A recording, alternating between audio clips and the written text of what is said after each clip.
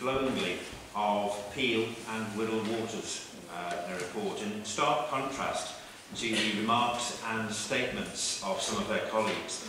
Does she therefore agree with Peel Holdings when they told the leader of the council that your actions do nothing to encourage much needed outside investment into Birkenhead and put potential funding from public and private sectors in jeopardy? Thank you. Councillor Angela Davies. Okay, thank you for your question. No, we absolutely, um, you know, dispute that. We um, feel that appeal should have come up to the plate a lot sooner and that they certainly need to provide more evidence. It's really positive in terms of um, the work we've been able to do with them on the Wirral Waters One project where we will be delivering um, 500 um, properties and homes for people. Um, it's going to be a real, you know, provider it goes through plan, okay, it's going to be a real catalyst um, for that area there and to develop a whole new um, community. Um, so, you know, we are, we are working with Peel, but we all need to carry on working um, really, really hard together. Councillor Mary Jordan. Thank you, Mr Mayor. My question is for the leader of the council. I share his delight that Wirral is going to be the borough of culture next year. Will he join me in supporting the Wirral Festival of Music, Speech and Drama, which celebrates its 70th anniversary next year? This is an organisation that supports children and young people to flourish in all aspects of the arts. Councillor Phil Davies. Yes. Councillor Andrew Hodson. Thank you, Mr Mayor. This is a question to the Leader of the Council, Philippe Davis. Uh, can I begin by congratulating... Uh, at, at, at Cabinet on the 18th of December, the Leader advised the Story Homes had substantial expansion strategy, which is one of the reasons for partnering with them on the Hoylake Golf Resort. As Story Homes have now withdrawn from that deal, is the Leader aware how unpopular Redrow homes are in Merseyside not least from their desire to build houses on Calderstones Park in Liverpool. Councillor Phil Davies. As, as, you, as Mr Mayor, as uh, Councillor Hodson knows, we are at the, still at the early stages of this project. Uh, we're looking, we're doing a series of feasibility, feasibility, the developer is doing a series of feasibility studies. Uh, there'll be a detailed report to um, Cabinet uh, at the end of this year, beginning of next year, when all the um, uh, feasibility studies, the results will be uh, shared. And the, the next stage is to look at the funding financial package and the house building element, the uh, golf course element, the uh, hotel, etc., the, uh, the, the Links Academy will all be part of that, and um, uh, the, the benefits, uh, which I believe potentially substantial to jobs and investment in Richard Let me speak. So the important thing is that we uh, we don't uh, we don't produce uh, a knee-jerk reaction to this project. We look at the evidence and we look at what the uh, project's about. I, I, I do personally believe Celtic Manor are a world-class brand, but we need to see what the whole package looks like rather than jumping to uh, conclusions and headlines, which may uh, go down well in the Conservative newsletter and the Conservative Party, but actually don't take this debate. All on green belt Thank you, Mr Mayor. Didn't answer the question. Um, Councillor Tony yeah. Cox. Thank you, Mr Mayor. It's a question to um, Angela Davis, the Cabinet Member for Jobs and Growth, and it's on that particular topic, something that is dear to the uh, residents of my ward, where they can melt.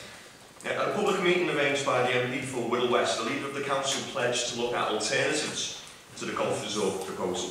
A, freedom of, uh, a recent Freedom of Information request has revealed that no studies has of yet been undertaken on the specific alternative proposal of the wetlands resort. Will the Cabinet member be commissioning such a study, or was the leader wrong to say this? Yeah. Councillor Anderson. Question, I believe that um, this is something that has been explored. Oh, February. Who pays your wages? Down in the gallery. Councillor Jo Bird. You're not answering the questions. net release and financed income generation. Um, would, would she agree with me that we must support access to local centres like New Ferry and Bromborough Village through car parking and better bus services? Because locally owned businesses, traders and customers, they're the heart and soul of our local economies and local communities, unlike businesses that are run for purely wealth extraction. So please could you give Council the update on the community wealth building initiative? Councillor Janette Williamson.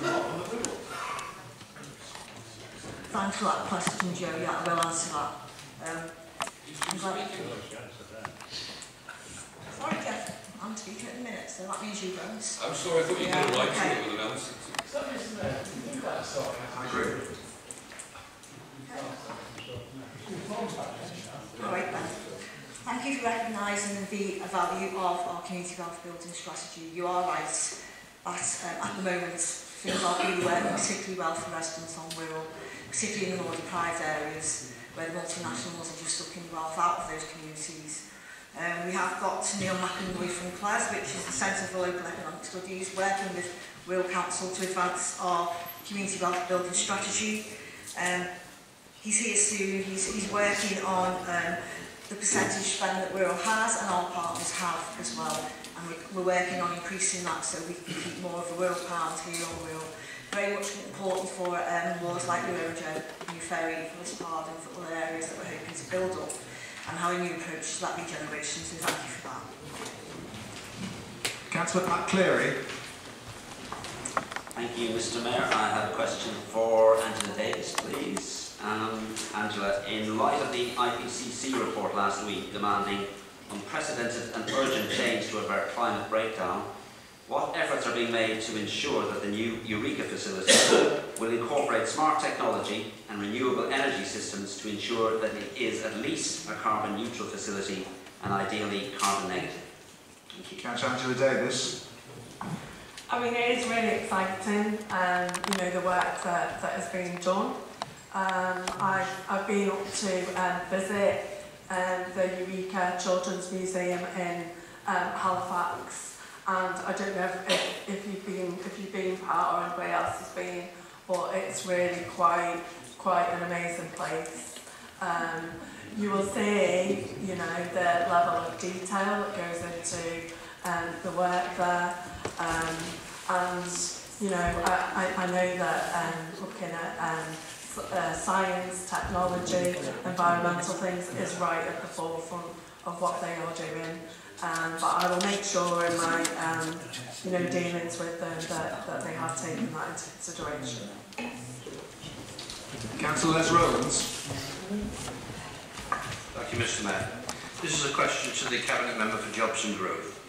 The Cabinet Member in their report advises that works continued with the Wirral Growth Company. Can she tell me when the temporary post of Programme Manager for the Growth Company, which has already been extended six times and has a total cost so far of £369,000 will end? Councillor Angela Davies. Um, thank you, thank you for your question. Um, so in 2011, Wirral Council employed 5,010 full-time staff. Today, after eight years of unrelenting Tory austerity, that mm. figure is 3,252. So that is, um, the workforce is reduced by 35%. That's 1,758 people in total. So clearly that means that there is a, a you know, a hugely reduced capacity within the organisation to deliver any projects or work programmes outside of the day-to-day business of the council. Um, you know, we just we don't have enough staff anymore, and we barely have enough to, to run the day-to-day services which our, our residents rely on. So when we have a short-term, clearly defined piece of work to deliver which requires specialist skills, it's often not a sensible use of public money to recruit permanent, often highly paid and skilled employees to deliver it. And Wirral Growth Company is a perfect example in points. Creating this company um, is a very, very specialist um, area and, and, and requires skills, which we don't need permanently. But these skills are expensive to bring in even for, for the short term.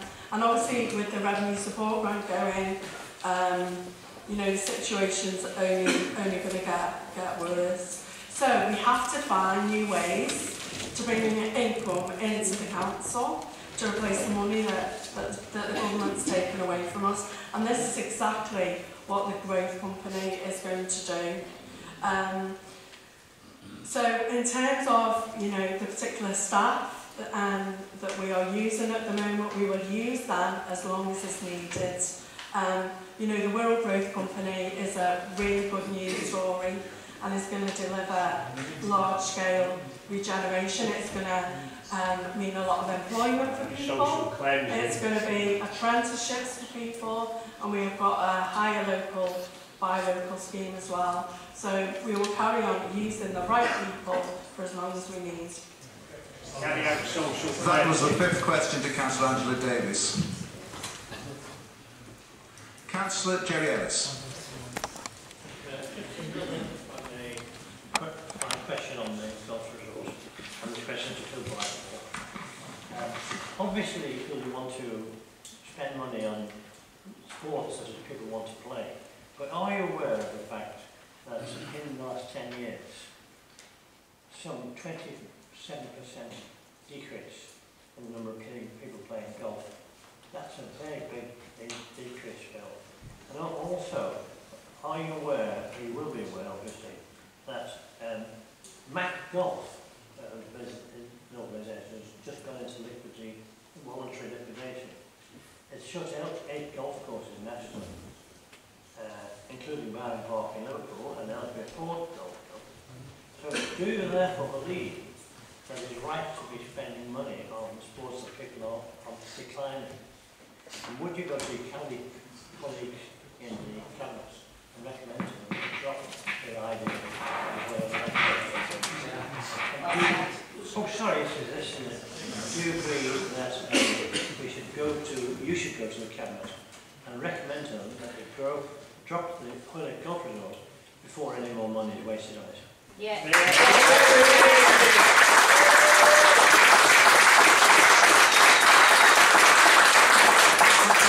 Unjustified. Uh, thank you for the question. Um, it's a really good point that golf nationally has been on the decline, but actually it remains quite popular in the world and it's attracting them with very large events because of our for. provision. I think it's entirely right that we should continue to invest in that provision, but it's got to be done in a new and fresh way to ensure that we remain top of the game and we continue, continue to attract investment. Thank you. No. For the private, you mean? Councillor Building Stuart on the Kelly. green belt, you said you wanted to protect. No more interruptions, thank you. Councillor Stuart Kelly. Uh, question uh, for uh, Councillor George Davies, uh, please. In his report, Councillor Davies reports that uh, uh, empty homes are being uh, returned to the housing market at a rate of 200 houses uh, per annum, 900 over his reference period. With that in mind, will he uh, undertake to revisit the assumptions that are being made in the local plan with respect to the um, projection for the contribution empty homes uh, bringing empty houses back into use will make to that. He further reports that in respect of the selective licensing extension, there have been 42 prosecutions. Uh, I wonder whether he could break down for us in due course um, how many of those 42 were in respect of failure to obtain a licence, uh, or more importantly, the second category, which, were, which was for breach of licence conditions. And finally, uh, Mr Mayor, um, I know what he says about the empty property grants being linked to a designated licen licensing area, but could he explain why that grant is not available for houses outside of the licensing area, in other words, four wide? Councillor George Davies. Uh, thanks, Mr Mayor. Well, Stuart, if I can uh, give you assurance, I'll write back to you on the um, 42 um, prosecutions, what they were, where they've come from, and how many of them for breach. I will send them through to you uh, as quickly as possible. Um, in terms of